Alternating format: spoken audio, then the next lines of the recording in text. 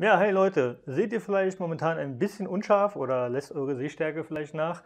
Dann wird es wahrscheinlich wieder Zeit für einen Besuch bei einem Optiker oder dem Augenarzt. Und darum geht es in diesem Video. Denn mit einer neuen Brille sieht man ja meistens gleich viel schärfer. Ja, und genau deswegen habe ich mich ein bisschen umgeschaut. Man kennt ja die ganzen Optiker vor Ort, Apollo, und äh, Vielmann auf jeden Fall und Robin Look etc. Alle locken die Kunden auch mit diversen Angeboten, drei zum Preis von einer oder ähnlichem ähm, oder halt nur 100 Euro Gestell inklusive etc. Dann gibt es aber auch die Möglichkeit im Internet zu bestellen und das meistens viel, viel günstiger. Und in dem Fall habe ich halt bei brille24.de geschaut. Da kriegt ihr eine Brille für 39,90 Euro ungefähr, also 40 Euro. Mit Versand sind es ungefähr 45 Euro, denn der Versand kommt noch hinzu. Und das ist ein unschlagbar günstiges Angebot. Und deswegen habe ich mir das mal angeschaut und ein Modell bestellt. Und das seht ihr jetzt nun im nachfolgenden Video. Außerdem zeige ich euch gleich noch, wie der Bestellvorgang abläuft. Und dann gibt es noch ein paar Infos zur Produktion etc. von Brille 24. Ja, zum Bestellen müsst ihr natürlich erstmal hier auf die Webseite von brille24.de. Ihr seht schon, ihr habt hier einiges an Auswahl. Und in meinem Fall gehe ich jetzt hier einmal zu den Herrenbrillen. Wie ihr sehen könnt, es gibt ja auch einen Brillenberater. Hier. Durch diesen könnt ihr dann entsprechend euch Damen, Herrenbrillen und so weiter Empfehlungen vorschlagen lassen. Aber das will ich jetzt nicht. Hier könnt ihr auch ähm, die Formen wählen etc. Ich suche jetzt eine randlose Brille und zwar die McKay und die habe ich hier schon, wie ihr sehen könnt. Und das Ganze gibt es in verschiedenen Farben und auch in verschiedenen Glastönungen, wobei die Standardtönungen ohne Aufpreis zu haben sind, bis 85% bzw. bis 50%.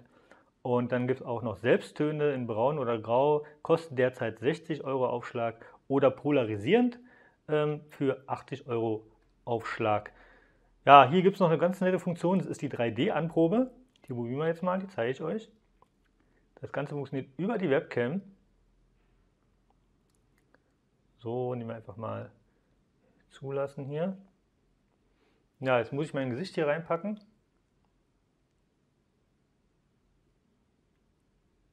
So, und jetzt kriege ich das Ganze. Ja, ähm, das sind jetzt die größten Gläser, würde ich sagen, denn es sieht ein bisschen groß aus, außerdem ist es ein bisschen rund. Ähm, so ist die McKay eigentlich gar nicht. Hier kann man hier nochmal draufklicken, aber wie ihr sehen könnt, es gibt hier keinen Unterschied zwischen diesen Modellen, außer die Farbe.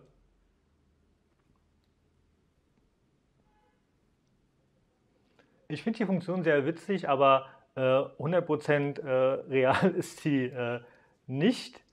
Im Vergleich dazu mal äh, meine alte Brille noch. So, jetzt hat man auch Reflexion drin. ja, gehen wir mal wieder raus hier. Ist aber bestimmt ganz praktisch für andere Gestelle. Ähm, oder die Form, und die kann man aber ansonsten auch ein Foto hochladen oder das Foto einfach ändern. Und hier sieht man auch die verschiedenen Modelle in der Glasform. Das größte ist jetzt hier aussagekräftig und bewährt, Nummer A. Ich hatte mich hier für Nummer G entschieden, weil es kleiner war. Und ich dachte mir, ja, das sieht recht klein aus. Ähm, seht ihr dann gleich im Anschluss noch, wie es denn wirklich aussieht. Und etwas kleiner wäre noch die Funktion klassisch und flach, wie ihr sehen könnt.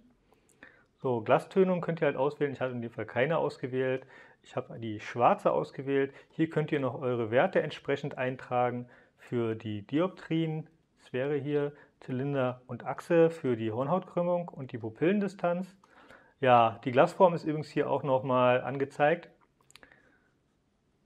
Das hatte ich vorher leider nicht gesehen. Ähm, und hier seht ihr auch nochmal die Höhe und die Breite der Gläser. Und die Form könnt ihr auch nochmal ein bisschen besser erkennen. Also immer diese, auf diese kleinen Info-Buttons achten. Da ist nochmal einiges an Infos versteckt. So, wie ihr sehen könnt, es sind Einstärkengläser in dem Fall. Es sind immer dünne Kunststoffgläser. Die versuchen immer die dünnsten zu machen, wie es geht. Ähm, super Entspiegelung, extra gehärtet, Lotus-Effekt, UV-Schutz, Brüllenetui und die sogenannte Geld-Zurück-Garantie. Die ist hier nochmal irgendwo deklariert. Das sind 30 Tage ab Versand. Hier steht es hier oben. Ansonsten 39,90 plus Versandkosten. Packen wir mal in den Warenkorb. So, hier haben wir das Ganze und hier seht ihr auch nochmal 21,90 sind für Brille 24 Limited und 18 Euro für die Dienstleistung hier in Deutschland mit Brille 24 GmbH. Sind jetzt 45 Euro ungefähr mit Versand und Märchensteuer und das Ganze können wir jetzt zur Kasse geben. Hier könnt ihr euch registrieren und dann könnt ihr bezahlen per Vorkasse, per äh, Überweisung, per äh, PayPal zum Beispiel. Ich habe in dem Fall auch PayPal gewählt. Ja, und ab dann heißt es im Prinzip warten. Ja, und wenn ihr dann ungefähr ähm, 14 Tage gewartet habt, dann müsste die neue Brille auch mit der Post kommen und schwupps ist sie dann auch schon da. Ja, und nach ungefähr zwei Wochen liegt das gute Stück jetzt hier auf meinem Tisch. Das Ganze kam hier in diesem schicken kleinen Brillenetui. Und das machen wir einfach mal auf. Und da seht ihr sie.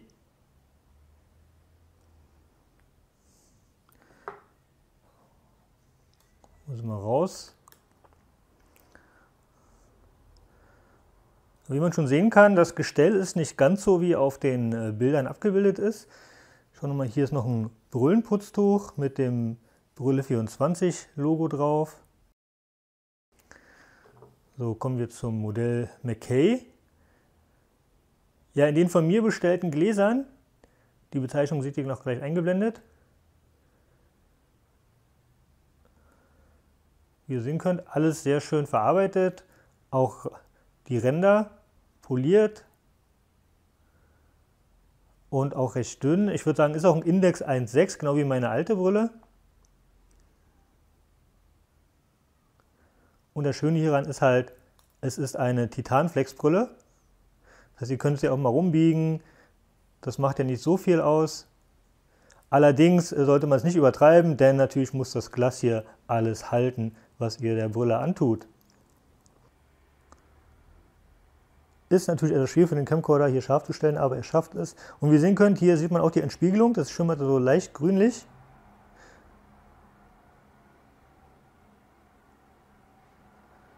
Und auch sehr schöne, klare Gläser.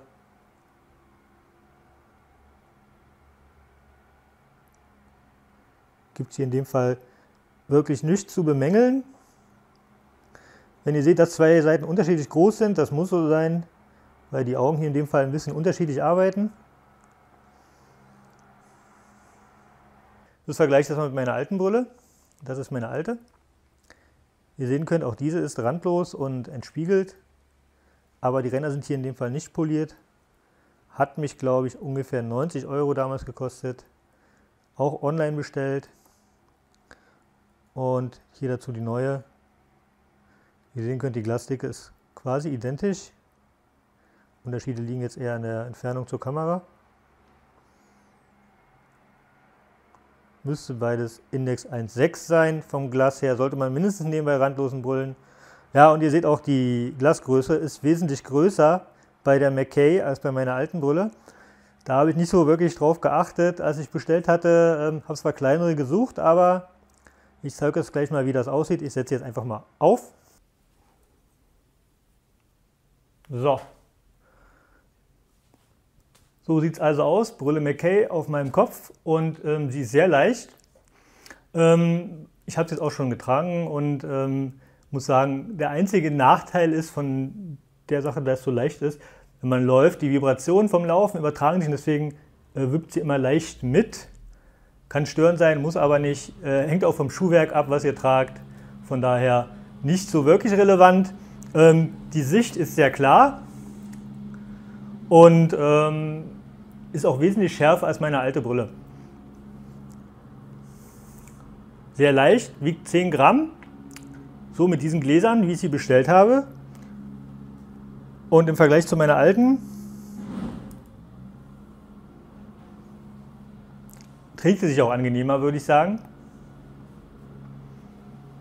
Also hier finde ich die Gläser schöner, weil sie schön dezent sind, klein und ich schaue sowieso immer nur in diese Richtung. Hier ist natürlich der Vorteil bei der Brille McKay in diesen Gläsern, ähm, dass ein größerer Bereich abgedeckt ist ist Geschmackssache, wenn man äh, auch in die Richtung scharf sehen will oder so, wenn man runterguckt, ähm, dann sollte man es wahrscheinlich sowieso größer kaufen. Wenn man nur eine schwache Sehschwäche hat, wie bei mir, ähm, dann reichen halt auch kleine Gläser vollkommen aus. Und sehr schön finde ich vor allen Dingen die Tatsache mit diesem Titanflex bei diesem Gestell, weil ähm, hier habe ich immer den Nachteil bei Standardbrüllen, dass ich nach einer Weile irgendwie das Ganze hier ausleiert. Ähm, und wenn man den Kopf nach unten senkt, dann rutschen die auch gerne mal runter, wenn man es nicht jedes Mal nachjustiert. Das wird hier hoffentlich nicht der Fall sein, dass sie in Form bleibt und man kann auch damit Sport machen. Finde ich sehr super. Ja, die Brille ist auch extra gehärtet hat äh, einen UV-Schutz, ist ganz klar, und äh, auch eine Lotus-Beschichtung. Das heißt, wenn ihr sie wascht, dann äh, perlt das Wasser leichter ab. Das macht die Reinigung etwas einfacher. Apropos Reinigung, man sollte Brüllen generell nicht trocken reinigen. Also am besten unter feuchtes Wasser halten und dann vorsichtig mit einem sauberen Mikrofasertuch abtupfen, ähm, weil ansonsten können kleine Kratzer entstehen. Das hatte ich bei meiner alten Brille. Einmal mit dem Mikrofasertuch rüber, kleiner Kiesel oder ähnliches drinne verfangen gewesen und schon hat man schöne zerkratzte Gläser. Da hilft auch der Kratzschutz leider nicht mehr viel. Ja, zu der Brille gab es auch noch Bestellgutscheine dazu. Also wenn ihr Neukunde seid und äh, auch bei brille24.de bestellen wollt, ich habe hier noch drei Gutscheincodes zu vergeben. Schreibt mir einfach eine Nachricht oder postet am besten hier unter dem Video einen Beitrag, dann schicke ich euch eine Nachricht wenn ich äh, kann. Ansonsten schickt mir doch lieber eine PN oder eine E-Mail über meine Webseite. Dann schicke ich euch einen Gutscheincode zu für eure nächste Bestellung bei brille24.de. Und äh, ja, ich werde mal schauen, was sich die Brille so in den nächsten Wochen, Monaten und Jahren so macht. Mein Fazit aber, ich bin begeistert. Also produzieren tut Brille24 die Dinger ja in Thailand. Und ähm, das muss jetzt nicht schlechtes sein. In Thailand gibt es massenhaft Optiker und Brüllengeschäfte und die Produktion wird da wahrscheinlich genauso verlaufen wie in anderen Ländern, das heißt automatisiert. Ein Beispiel zu dieser Produktion von solchen Brüllengläsern findet übrigens im Beitrag verlinkt, also nicht in diesem Video jetzt, sondern auf meiner Webseite, denn auf YouTube gibt es da von einem namhaften Hersteller von Gläsern auch ein nettes Video, wie man überhaupt solche Gläser herstellt. Ist vielleicht ganz interessant. Und dann sieht man auch, dass das Ganze automatisch abläuft und äh, aus Laien deswegen schon die Herstellung gar nicht so teuer sein kann. Das teuerste ist wahrscheinlich das Material und äh, die Maschinen etc. Und die Montage der Gestelle, denn die muss natürlich in der Regel per Hand erfolgen. Sehr schön ist übrigens auch, ihr könnt das Ganze natürlich auch getönt bestellen, polarisiert bestellen etc. in verschiedenen Größen und Formen. Also meine nächste Brille würde ich wahrscheinlich wieder dort kaufen, allein schon aufgrund des günstigen Preises von ca. 40 Euro bei ähm, einem Optiker hier in der Ecke. Da hätte ich für dasselbe Gestell, beziehungsweise ein ähnliches Titanflex-Gestell, was auch eher so gebogen wäre, ungefähr 350 Euro bezahlt. Okay, ich hätte die Gläser direkt vor Ort sehen können, was schon mal ein sehr großer Vorteil ist. Ich hätte den Service auch vor Ort, ähm, den man in der Regel aber selten braucht.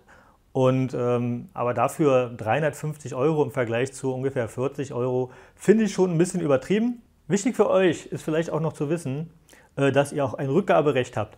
Brüllen sind ja eine Maßanfertigung. In der Regel gibt es da kein Rückgaberecht. Äh, das heißt also Pech gehabt. Allerdings ähm, kann es ja mal sein, dass man sich nicht mit der Brille verträgt etc., dass die Sehstärke nicht komplett richtig übernommen wurde, was selten ist, aber passieren kann. Ähm, das heißt, ähm, dann geben die meisten Optiker, auch die Läden vor Ort, euch das Recht zur Rückgabe oder Umtausch. Und so ist es auch bei brille24.de. 30 Tage habt ihr Zeit. Allerdings gelten diese 30 Tage ab Versand. Da der Versand schon mal ungefähr zwei Wochen dauert, habt ihr also effektiv nur circa zwei Wochen Zeit, das Ganze zu reklamieren und zurückzuschicken. Ihr müsst dann jedoch 9 Euro Pauschale für die Abwicklung bezahlen und 5 Euro Versandgebühren. Die müsst ihr natürlich auch wieder extra bezahlen. Das heißt, äh, ihr macht ungefähr 14 Euro Verlust, wenn ihr eine Brille zurückschickt, weil sie euch doch nicht gefällt, zum Beispiel vom Gestell her oder ähnlichem. Müsst ihr überlegen, ob sich das lohnt, bei einem Preis von 40 Euro, für 15 Euro ungefähr, ganz wieder zurückzuschicken. Stand ist der August 2013, Preise ändern sich ja bekanntlich. Und das war es soweit von mir zur Brille McKay von brille24.de. Und ich hoffe, ich konnte euch mit dem Video ein bisschen weiterhelfen. Vielleicht ist es ja für euch jetzt auch eine Gelegenheit, selber mal dort zu bestellen, es auszuprobieren und einen Beitrag zu schreiben. Ah, eins noch. Zum Thema polierte Ränder kann ich euch sagen, äh, bei randlosen Brüllen sind die immer poliert bei brille24.de. Nur die Randbrüllen, da sind die in der Regel nicht poliert, die Ränder, bei randlosen jedoch schon. Ja, solltet ihr noch Fragen dazu haben, dann postet es einfach unter dem Videobeitrag hier. Ich versuche sie euch zu beantworten. Und ähm, sollte sich mit der Brille noch irgendwas Neues ergeben, dann mache ich dazu entweder ein extra Video oder ich ergänze einfach den Beitrag und schreibe es dann hier unter die Beschreibung bzw. in den Beitrag auf der Webseite von Video Review Info. Bis zum nächsten Video.